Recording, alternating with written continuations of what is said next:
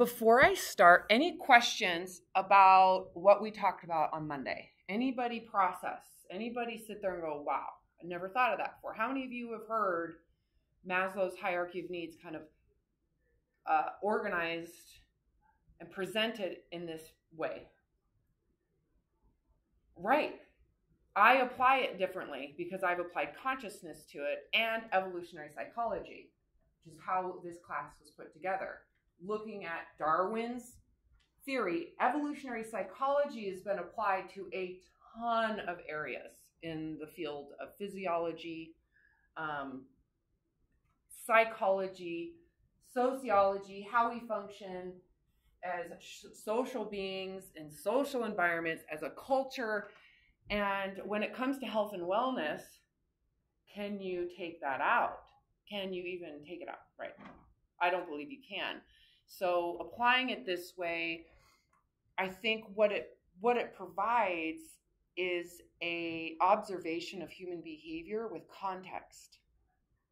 Right? Because the way that we're typically taught about health and wellness is individual.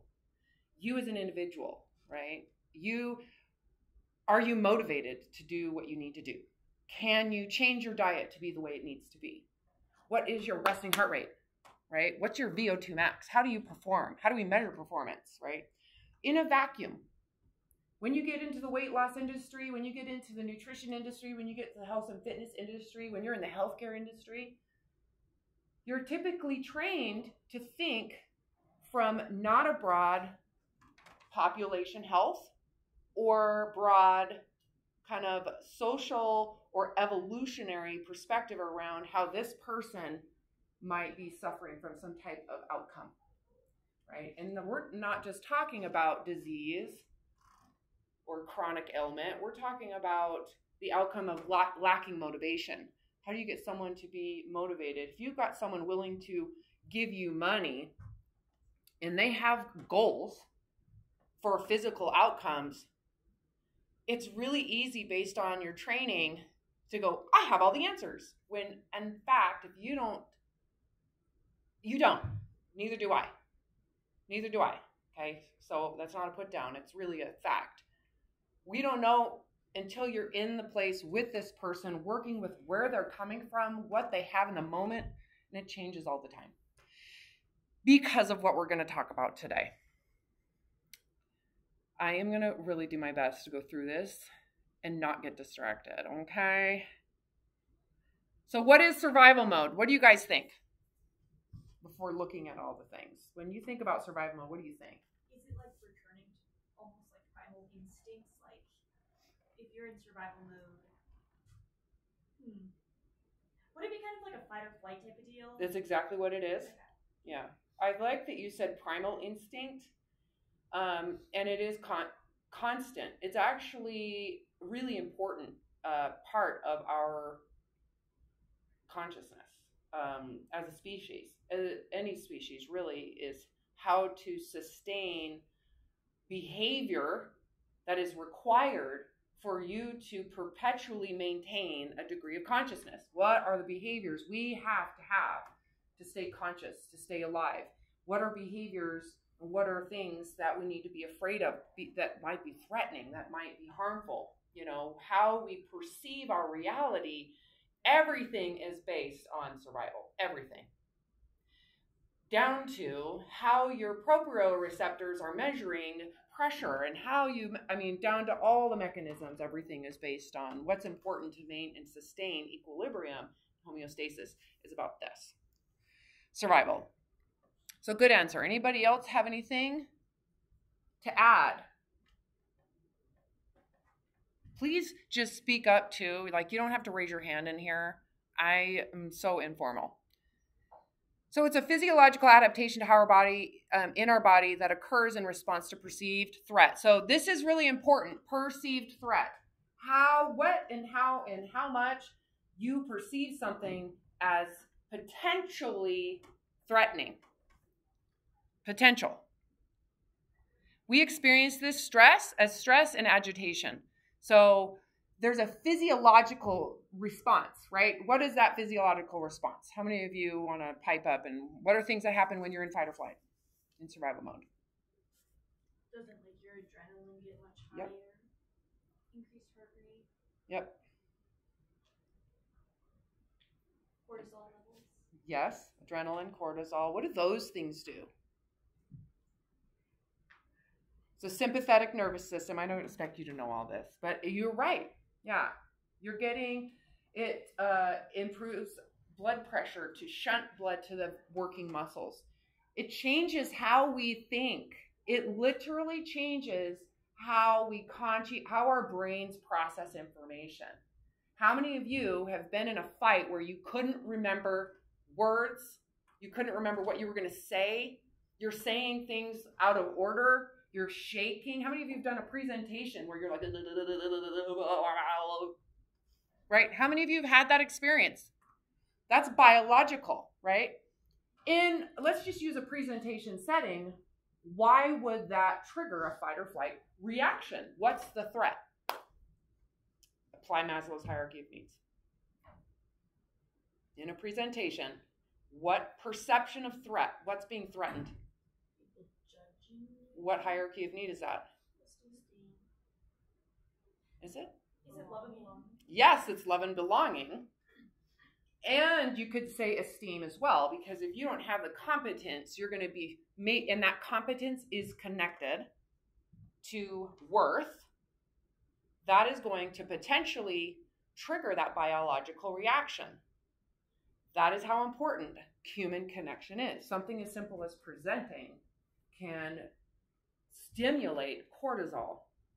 Um, take your you're not meant in fight or flight to sit and be calm and think it through and look at all the risks and pro- you're not meant to process like that. You're meant to do something hide shrink inflate right?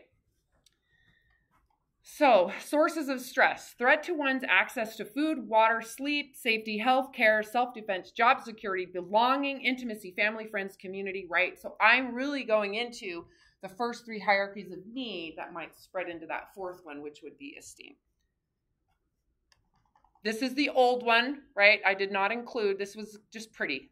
So keep in mind, this was from 1955. What you just got te- tested on was the 1972 version that adds cognitive, um, aesthetic, thank you, self actualization, and transcendence, which is more the higher levels of human functioning.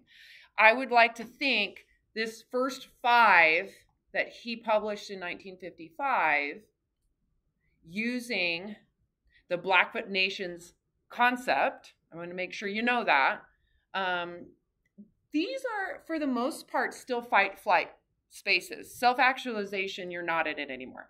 So again, he expanded here. Those are the same. So, basic physiological needs, we've already gone over that. We're going to keep on going. You already know this one. You already know this one. You know this one. Oh my God. I did not realize I redid all these. Okay. Oh, okay. Now we're in the good stuff. You need to remember this. So, if you're going to take any type of mental note, this conversation right here is very important because what you what research is looking at is how how do we receive information conscientiously and cognitively and intellectually that would trigger cortisol epinephrine that would shunt blood towards our extremities that would take digestion and shut it down? Just what we perceive can have that reaction. It doesn't have to be a truthful threat. If you just believe it's threatening, biological reaction. You just got to believe it, even if it's not real, right? What does it take to trigger survival mode? There, it requires that you have a self-evaluation first. What are you capable of? It, it, you cannot have a trigger unless you feel that you cannot handle something an inner assessment of one's capacity. There has to be a comparison. There is what I can handle compared to what this is. whether it's lose my job, can't pay my bills. What if I don't pass the class? What if I don't get an A? What if no one likes me? What if I can't eat? What if it's too cold out and I freeze to death, right? So you're comparing yourself to something else. It doesn't just happen. You don't just have anxiety. That doesn't just happen. You're not a mouse. You're not you're not just, "Oh, I'm full of anxiety." No, you actually have so much going on that result. I have a result of anxiety. A self-evaluation compared to a trigger, and there's an assumption you can't handle it. That's the key. I cannot handle it. Make sense? So when I ask you, what does it require to trigger stress, fight or flight? This isn't a bad thing. This is just the equation. This is how it works for every single person. It requires that you compare your sense of capacity to an external stimulus. It equates to the assumption, I can't handle it, reaction. Okay? Um, is there anything else on this one? Now, if you can handle the hardship, it is with help. So, so let's say the assumption is you can't handle it. I think I need to be more clear with this one. If you can't handle the hardship, do you have something that could help? So let's use something really obvious. I'm in the wilderness. I'm like connecting with the trees, and holy shit, there's a bear. There's a freaking bear. Uh, it's clearly bigger than me. Its body language is coming at me, and I look delicious. And there's a clear assessment of my lack of capacity and also memory around stories of people getting eaten by bears, right? So there's history, there's the assessment, then, um, but I have whoosh, bear spray. I'm gonna feel real good with that bear spray. Can you see how bear spray or a handgun or something to protect myself would probably diminish that response? So having some sense of tool is really important too. So okay, I can't I can't handle this or okay, let's use schooling. I'm going to take this class. It might be really hard. Well, what are the tools you have? I'm going to get a tutor. I'm going to pay attention. I'm going to go to every class. I'm going to take notes. I'm going to read the material. I'm going to do the best I can. What if I fail? Well, the question is can you handle that? A lot of people's assumption would be no, I can't. Well, if you can't, then what are you going to live in during that course? Anxiety and stress. Well, let's think it through. What if you do your best with what you have, what you're handling in your life, and you fail? Think it through. Can you handle that? What would you do in this situation?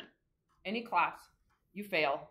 You did your best under under the circumstance you had, whether it's working a job, being an athlete, um, parent parent got sick, you're overloaded, you don't have enough time, you fail the class. Now what? What are you going to do? Can you handle it?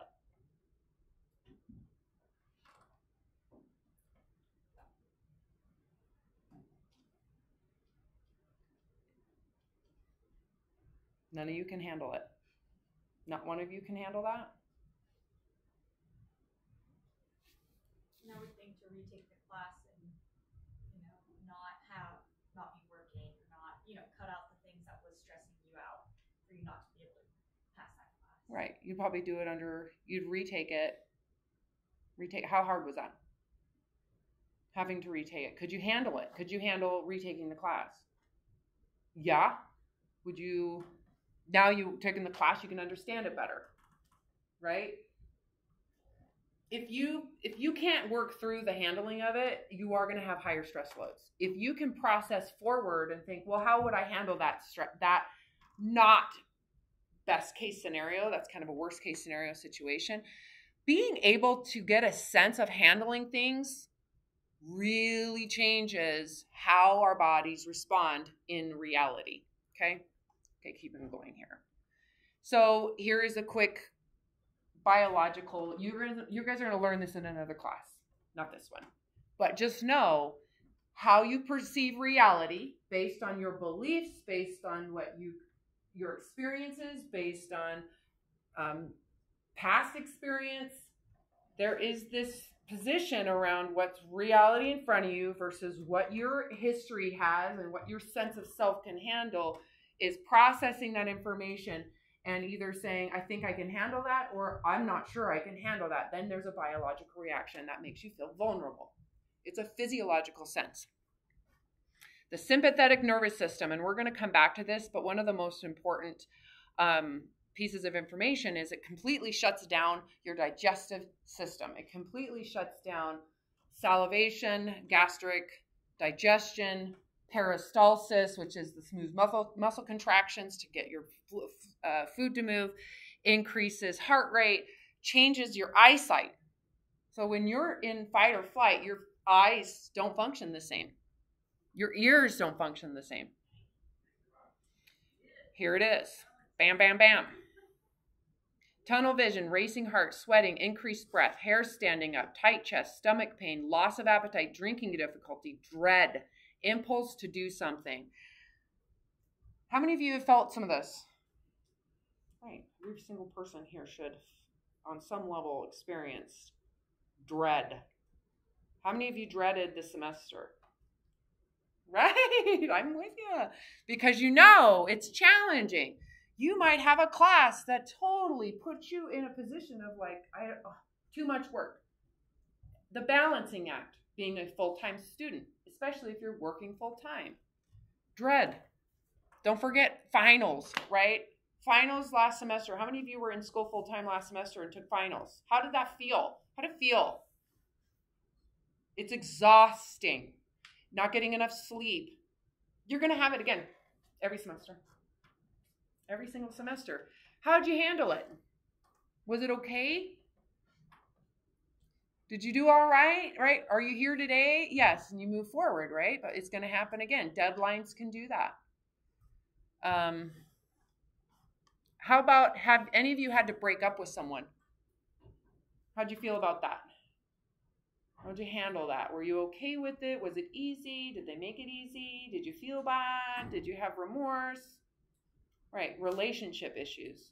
Can you afford? So, when you think about how we talk about fight or flight and these physical, biological experiences, apply them to Maslow's hierarchy.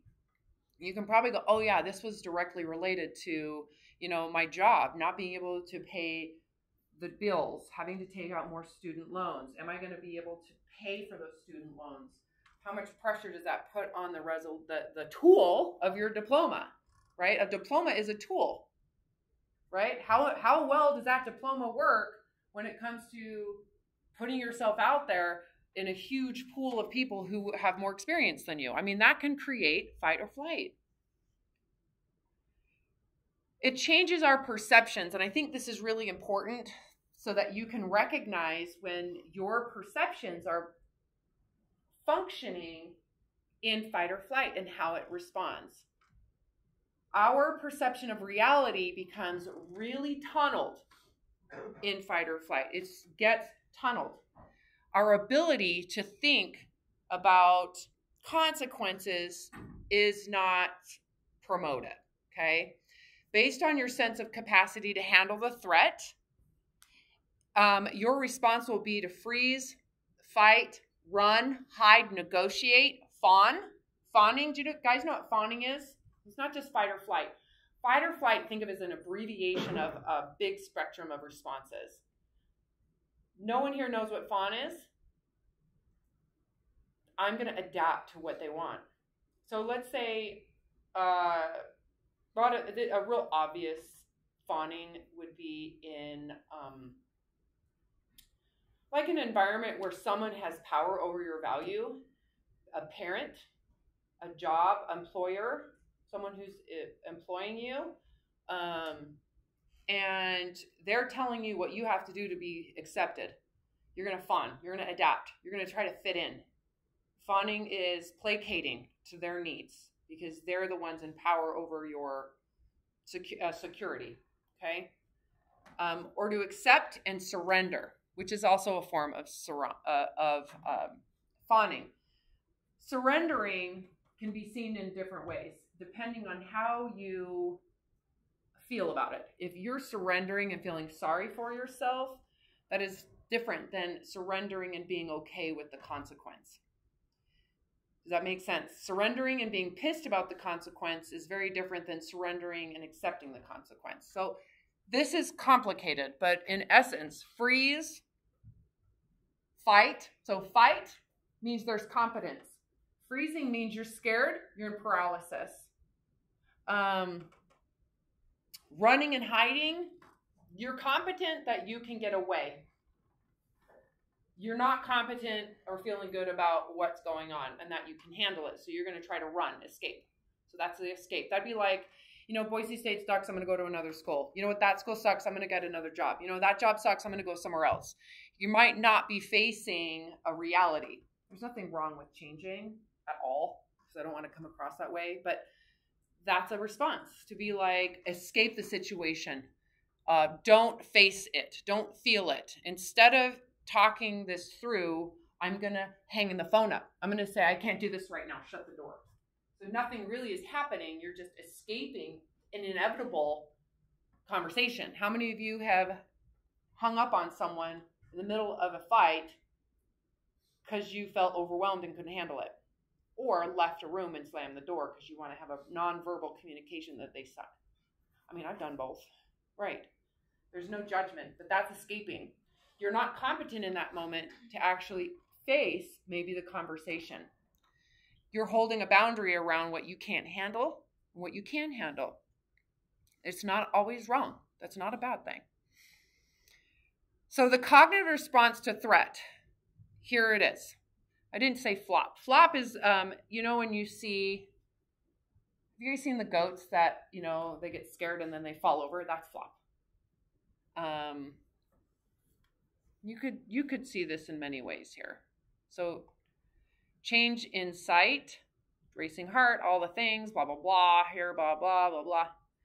Um, again, I would say fighting is there that is definitely a space of competence and this is generalizing here. So it's not always narcissistic to fight. It's not always a bully that fights. However, fighting is a sign that you think you can be your superior. Okay. And that can be an amazing quality. So when I found this picture, I was like, God, I wish there was like also people who are willing to survive and figure out a solution. Um, again, Freezing is common. How many of you procrastinate or call yourself a procrastinator? That's frozen. You're frozen. Procrastination is uh, eh, you're feeling overwhelmed and you're somewhat fleeing, but that is absolutely a survival reaction to not wanting to face whatever it is. And it might be because um, you have time. So there is a time component to procrastination. Okay. So the fight response. This means there's a positive assessment of one's ability. State of inflation, thinking you're bigger, stronger, and better than you really are. Good for competition and war. Um, thinking you're superior in aiming to be right. That's also very similar. To survive, you're willing to steal, cheat, and hurt others. Again, I don't want to always look at this and think this is a bad thing, but typically fighters are assholes they can be assholes. They're the ones who are constantly complaining. They're the ones who are willing to say, This isn't right, you better fix it. Karens. I love the name Karen, so please don't take that personal. The flight response confident in ability to get away, escaping, coping, forms of getting away, avoidance, denial, cleaning, um, repre- uh, repression, prevention is also a flight response.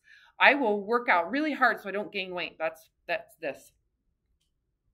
Perfectionism is also a flight response because you are trying to avoid staying busy, other forms of coping and escape, alcoholism, exercise addiction, obsessive dieting or emotional eating, drug abuse, all escape.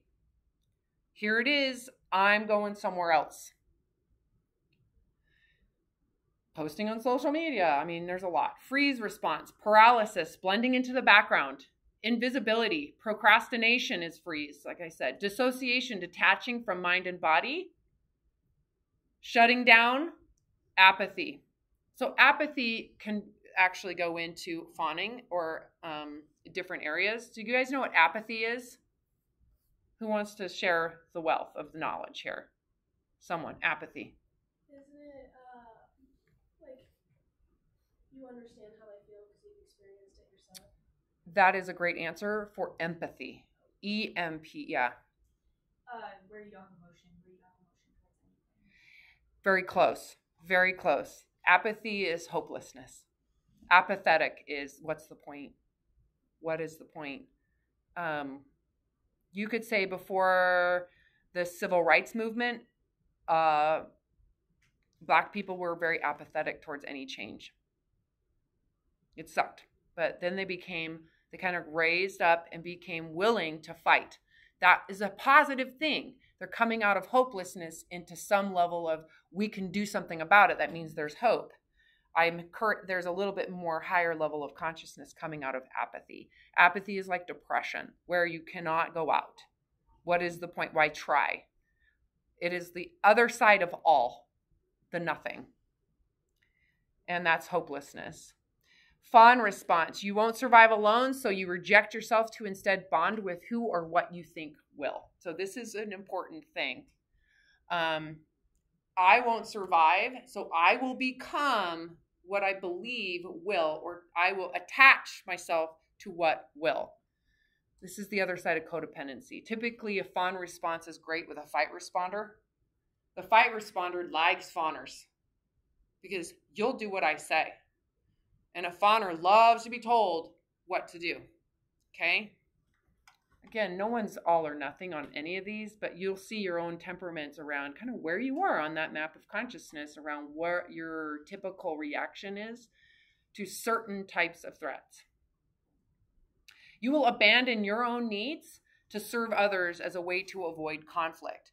So even though this is harming me, even though this is making me super uncomfortable and is out of really what I naturally would engage with, I will do it because I'm fearful of rejection and abandonment. That's how I experienced sexual assault. The willfulness for me in college to have sex with someone wasn't because I wanted it or was even interested in it. It was because I was deathly afraid to be rejected. Sound familiar to any of you? How many of you want to have sex with someone who's only doing it because they're super afraid you won't like them? They don't really want to. Does that sound fun? That's really common. This fawn response is really common in the inferior position of relationships. Adapting and becoming what others like in fear of disapproval and criticism.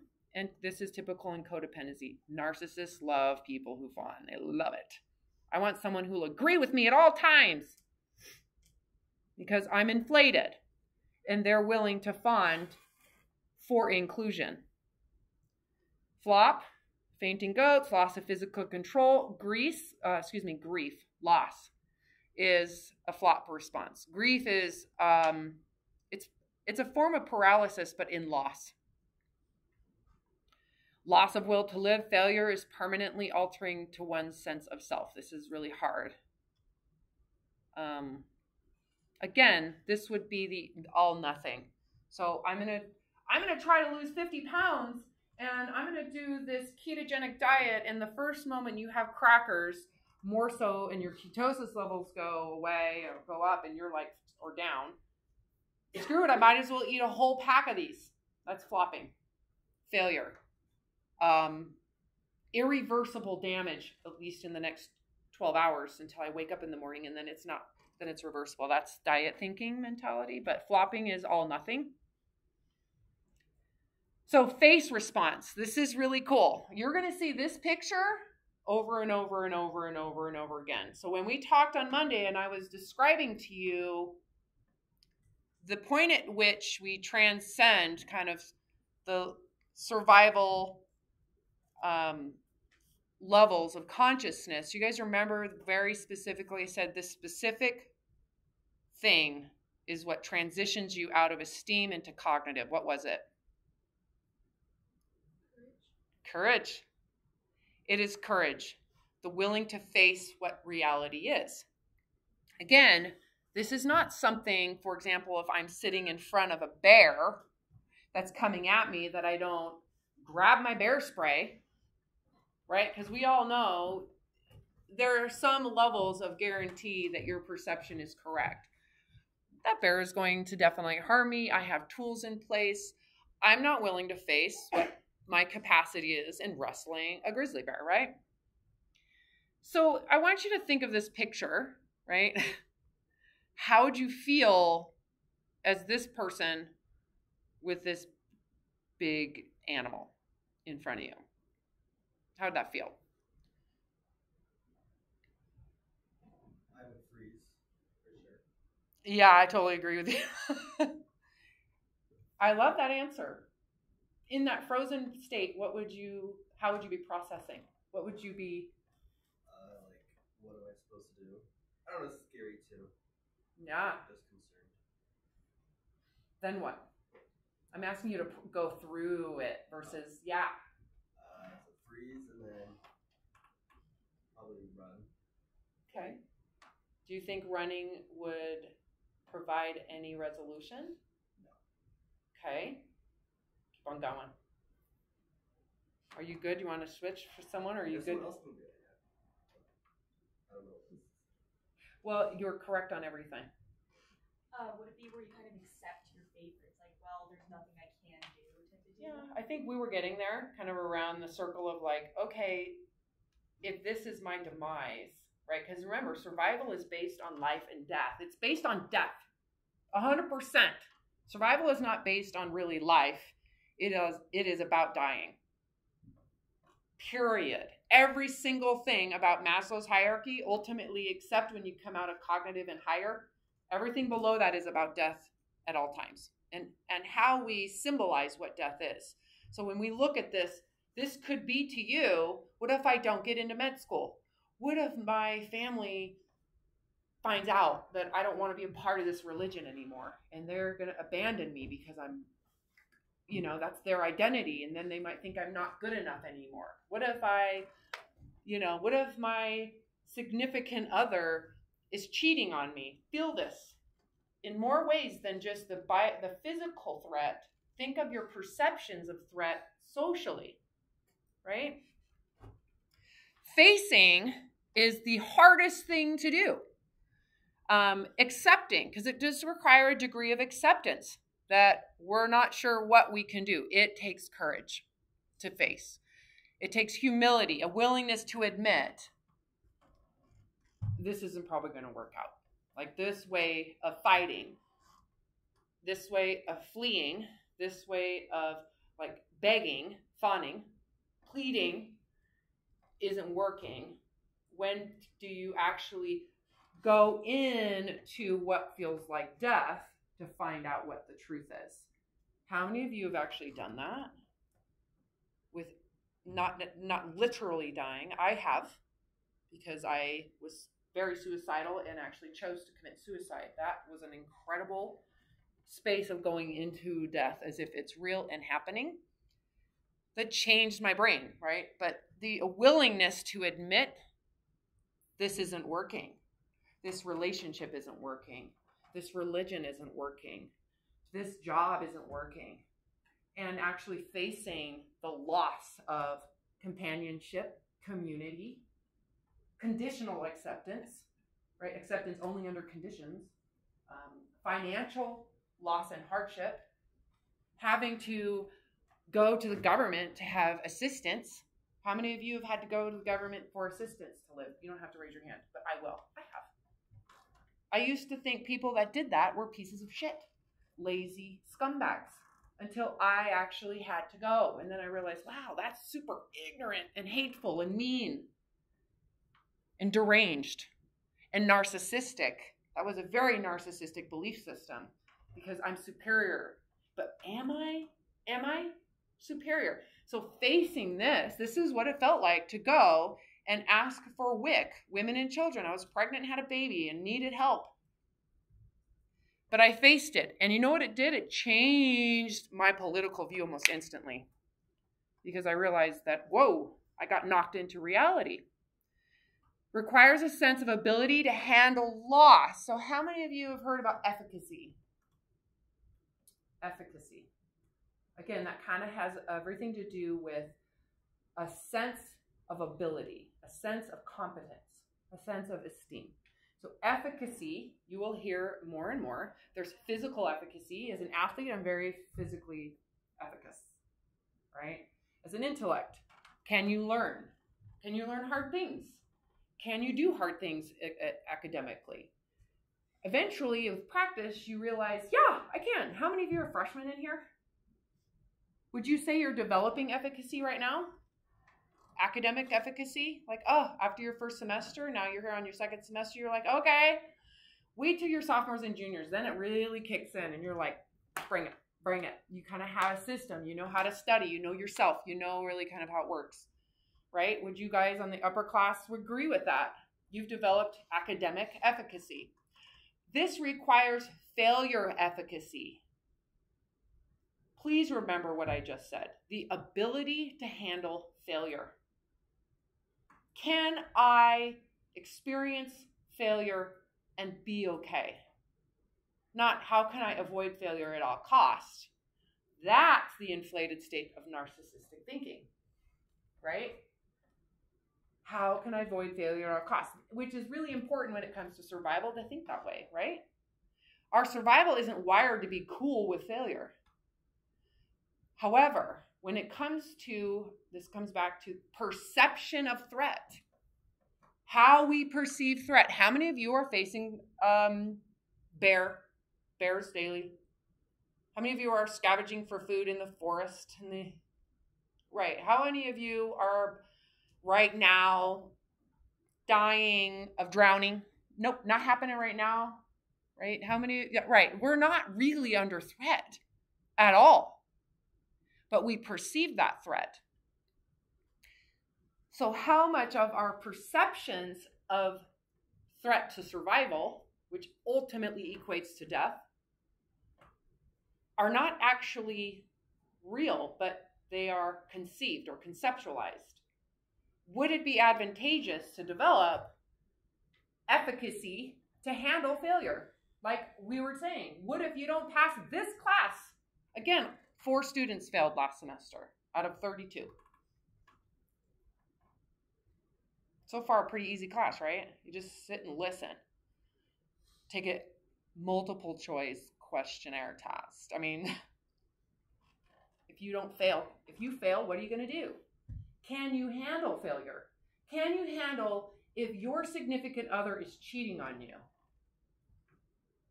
I will ask you this question multiple times because I think, don't you agree and tell me if I'm wrong? That's kind of one of the most intimate, important kind of, you get intimate with someone, not just emotionally, but physically, you find out that they're doing the same thing with someone else and someone you've bonded with, someone that has become part of your community.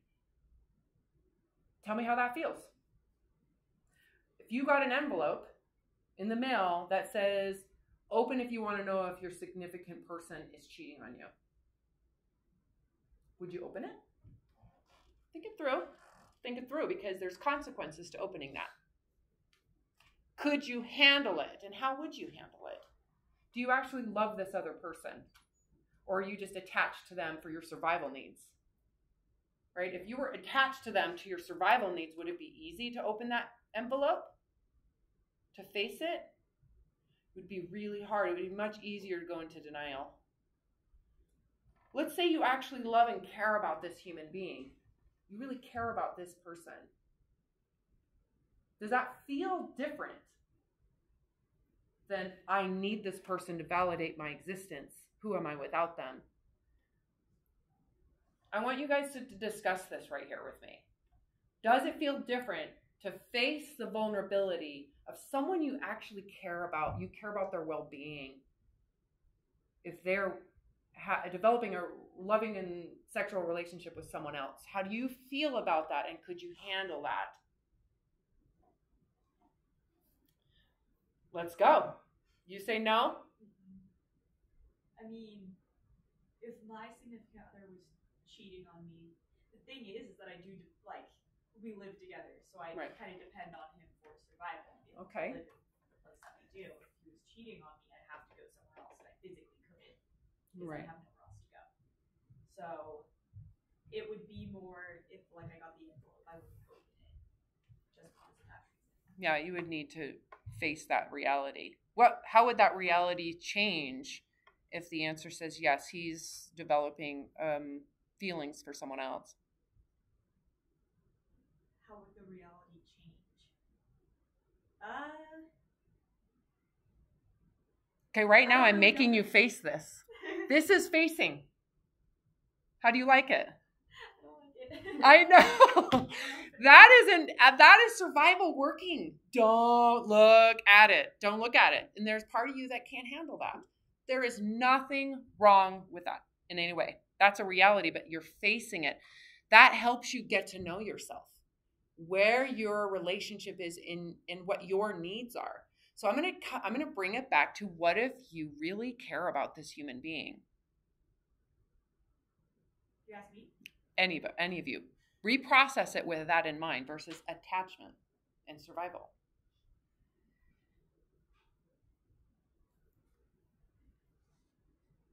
so change it a little bit. Anybody have a different reaction?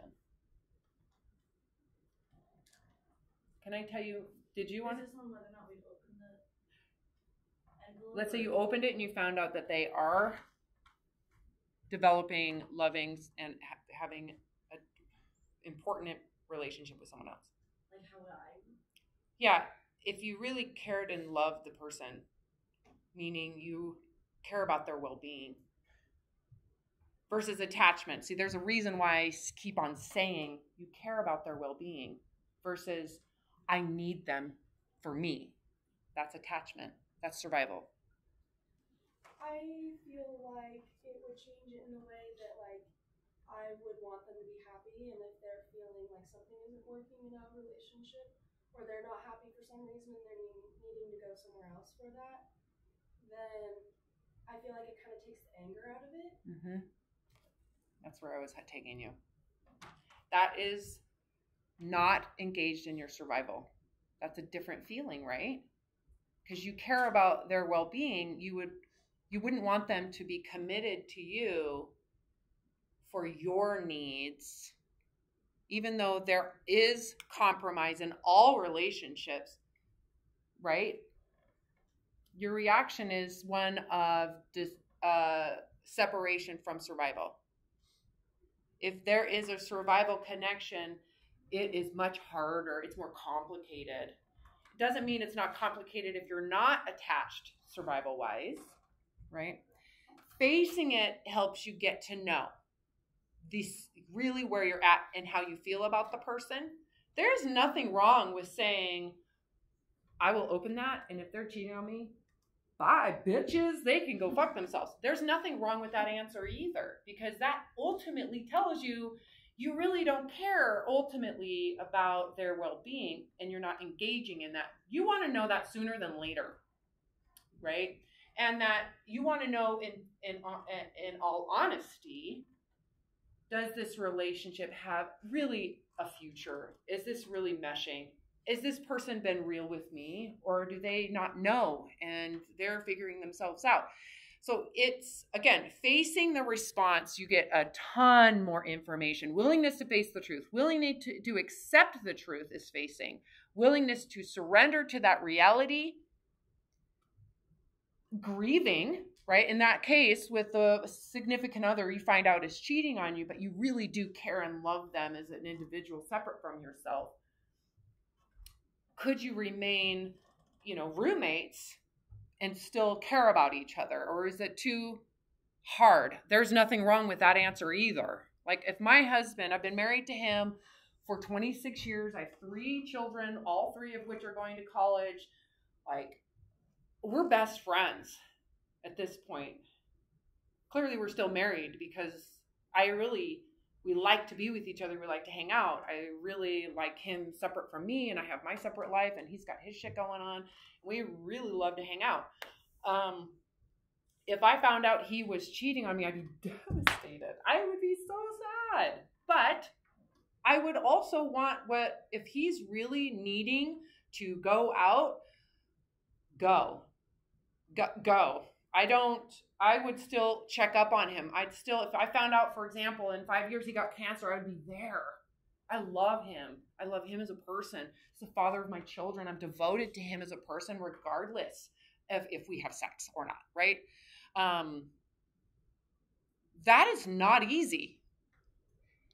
To someone in survival mode, that would be really, really hard because in survival, you need edges, you need control, you need to you need to make sure that they're not doing that because if they do that, then you're under threat, right? Because you're under threat anyways. You never you ever really solved your third hierarchy of need anyways, right? So it's important to face those things so you know where you're at without criticism and without judgment. It's okay. When I first got married, my husband went to a strip club with his brother, and I was devastated. Devastated because he saw someone's titties. Right? I mean, devastated because I felt really insecure with myself at the time. This was pre suicidal ideation thick of mental health problems. And it was devastating because I didn't have a sense of myself. I didn't understand how we were actually uh, I didn't understand those black. I didn't. I needed it to be black and white. Those edges needed to be very clear because I was super insecure. I needed it to be black and white, and that was very gray territory for someone who is super insecure with my third hierarchy of need. Okay, kind of goes back to this.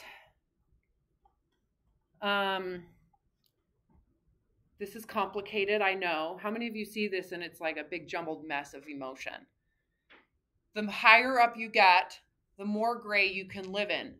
The more willingness you are to face hardship, the more willingness you are to, to um, accept loss.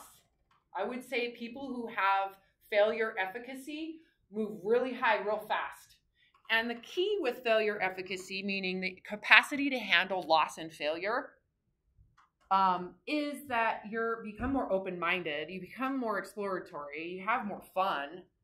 Even in competition, you have more fun. Um, you are not so scared of the gray. Again, you're not so triggered anymore. And so your biology changes you're no longer dealing with cortisol out of control. You have control over those things to some degree, right? Because instead of being paranoid or being controlling, which is really cortisol and fight or flight promoted, you're more willing to talk and ask the questions, and you're more willing to engage in a non defensive and offensive way, meaning, I'm going to fight right? In how you relate. Oh my God. Okay. I'm going to skip over that. Now we're getting into cognitive distortions. So, this is how your brain perceives reality. And these have been studied for over 50 years, um, observing different levels, right, of how we function under threat, how our minds function under threat. So we're going to go over these all or nothing thinking. How many of you have experienced that? Me too. that is so amazing. I want you to think about where the benefit of all or nothing thinking is.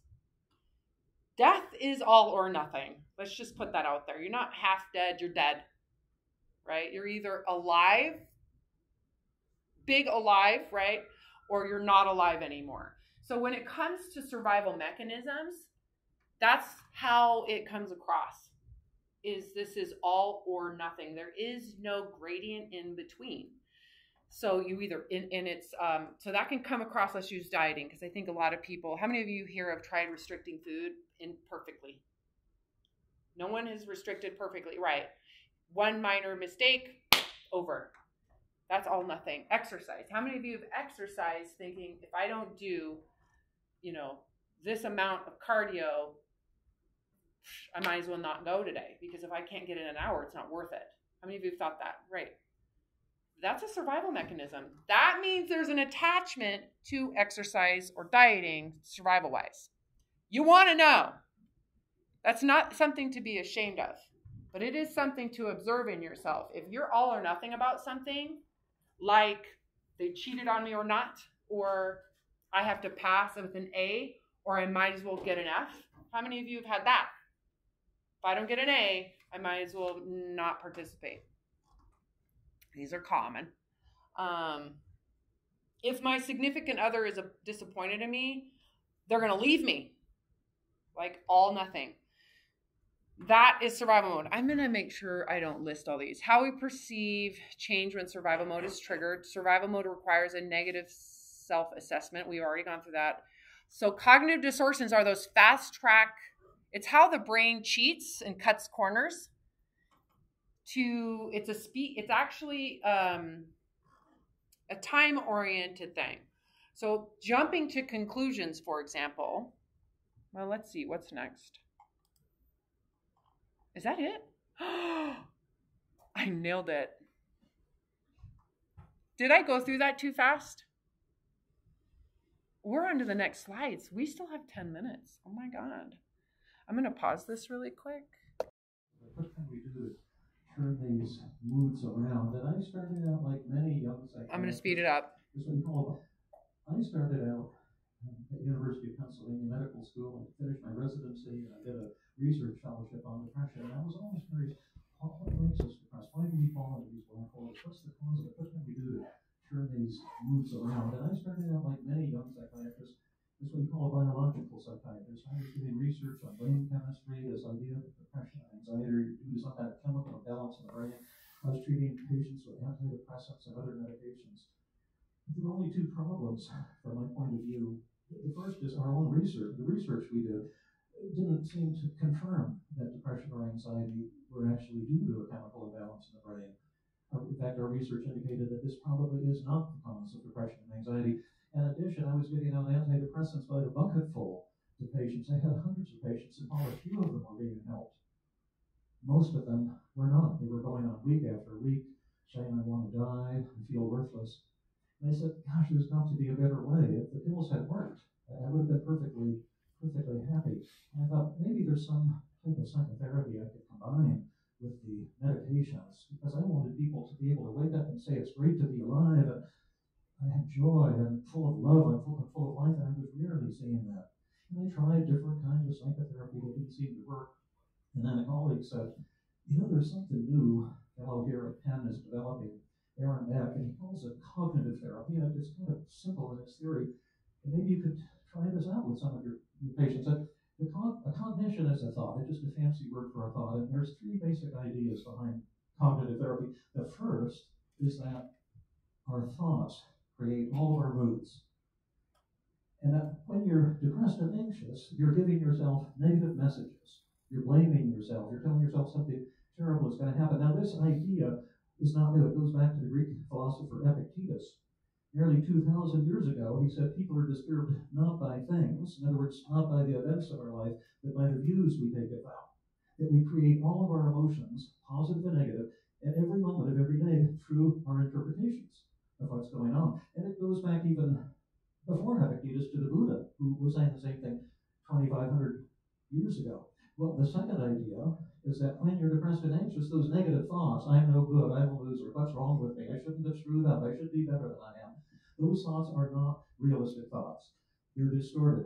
That depression and anxiety are the world's oldest cons, so that there's 10 distortions that you always see in the negative thoughts of individuals who are depressed and anxious, like all or nothing thinking. If I'm not a great success today, I'll be a total failure, shades of gray don't exist, or overgeneralization, seeing a negative event as a never-ending pattern of defeat, or should statements, or self-blame. And the third idea was that you could train people to change the way they think, and then suddenly change the way they feel. Well, I heard that theory, and I said, that sounds like so much bullshit. Uh, I know my, my patients have negative thoughts. That's certainly the case. But you can't help serious suicidal depression with some kind of power of positive thinking. And I told a colleague this. He says, Well, David, why don't you go to his next weekly seminar? And as part of your research, try this with a few of your toughest patients, and then you can prove to yourself that it doesn't work. And I thought, That's a, that's a great idea. I think I'll, I'll check it out. Well, the first patient, I tried it out, was a woman referred from the intensive care unit of the University Hospital.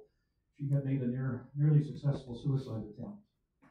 An elderly Latvian immigrant, and they referred her to me for follow-up. And I, I said, Martha, there's there's this new form of therapy I'm, I'm doing some uh, investigating, and, and, would it be okay if I present your case at this uh, weekly seminar?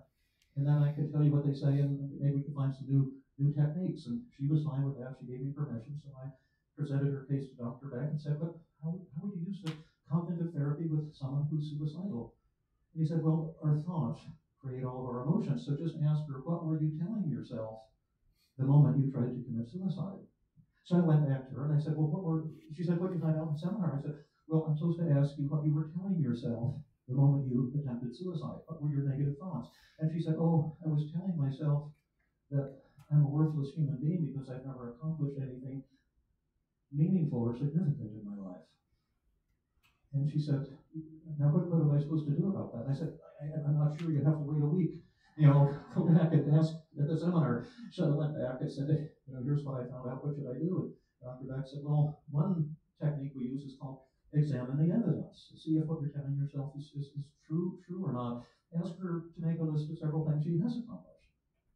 I thought, yeah, that, that makes sense. So I went back and I said, she said, What'd you find out at the seminar? I said, you're, Well, you're supposed to make a list of several things you have accomplished. She said, Well, that's just the problem. Uh, I can't think of anything. And I don't know, maybe some of you folks felt that way sometimes. Look back on your life and say, What have I done that was really meaningful, that was really significant? What did my life really amount to? So I said, Well, why don't you take it as a homework assignment? Maybe, maybe you can think of something.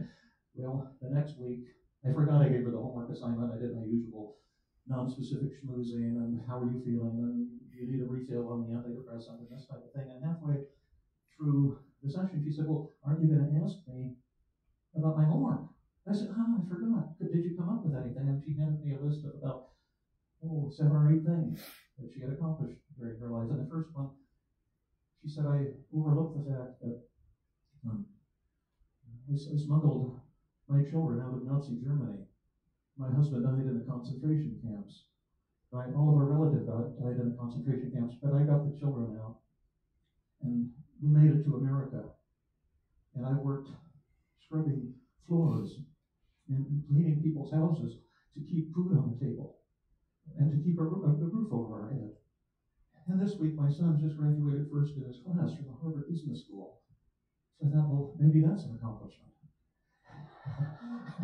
and then she said, and I forgot that I speak five languages fluently. And I'm a gourmet chef, and she had all these amazing things. And I said, Martha, how do you reconcile this with your claim that you're a worthless human being who's never accomplished anything meaningful? And she said, Dr. Burns, it doesn't compute. It doesn't make any sense. I don't know how I could have been thinking that. And I said, How are you feeling now? She said, I'm feeling a lot better. She said, Do you have any more techniques? I said, No, that's the only one I've learned so far. You have to wait till next week you know, I'll learn another technique.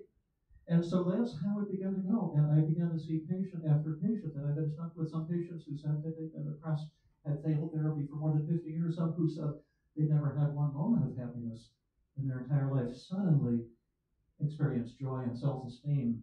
And I said, this, this is the thing I want to commit my life to. I had just received a grant from the government, a five-year grant to develop a brain chemistry research laboratory at the medical school. And I sent the money back I said, I don't want to spend my life doing research on a theory that's not going to bear fruit. This is what I want to do. And then the research began to come in. First, a pilot study at Penn that showed that this new form of therapy was as effective, if not more effective, than the best antidepressant drugs. And then study after study has come in, and now it's become the most researched form of psychotherapy in history.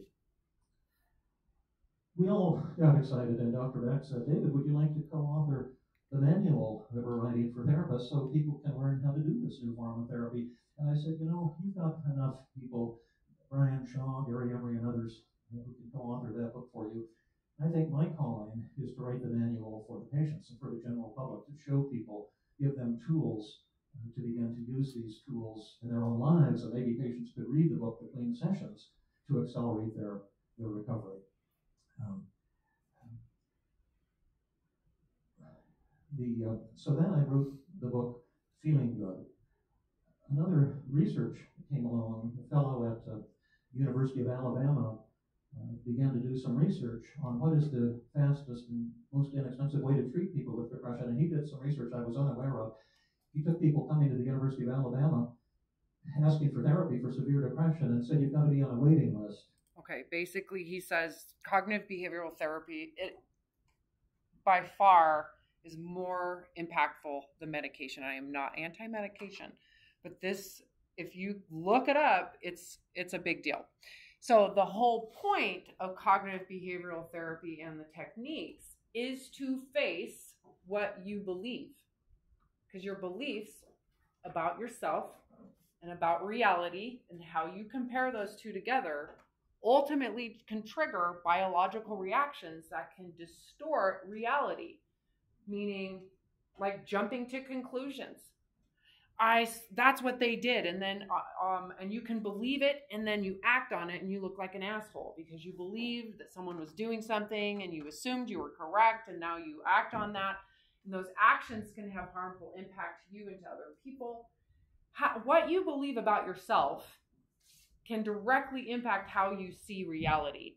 And ultimately, what they found with people with diet, uh, depression and anxiety is there there have high degrees of cognitive distortions. Their reality is completely distorted, and it's ultimately promoting and sustaining and maintaining a really low level of um, of consciousness. So facing can change everything. Okay, so I'm going to see you guys on Monday. There is homework assignment. It's up, it's loaded. Take a read, and it's due on Monday. Okay, we'll see you guys on Monday.